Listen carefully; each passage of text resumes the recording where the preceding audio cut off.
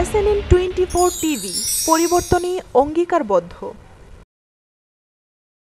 Fatikchhari সমিতিহাট union প্রাঙ্গণে বজ্রপাত হতে সুরক্ষা পেতে মাননীয় প্রধানমন্ত্রীর নির্দেশনায় গ্রামীণ রাস্তায় দশ হাজার তালবীজ রোপণের কর্মসূচি উদ্বোধন করা হয়েছে।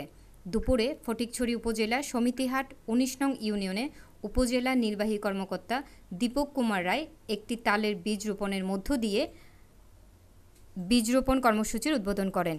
এ সময় উপস্থিত ছিলেন উপজেলা কৃষি অফিসার লিটন দেবনাথ, প্রকল্প বাস্তবায়ন অফিসার তারিকুল ইসলাম, উনিশ নং ইউনিয়ন পরিষদের চেয়ারম্যান হারুনুর রশিদ ইমন সহ বিভিন্ন পর্যায়ের ঊর্ধ্বতন কর্মকর্তারা উপস্থিত ছিলেন। News desk S N N twenty four TV.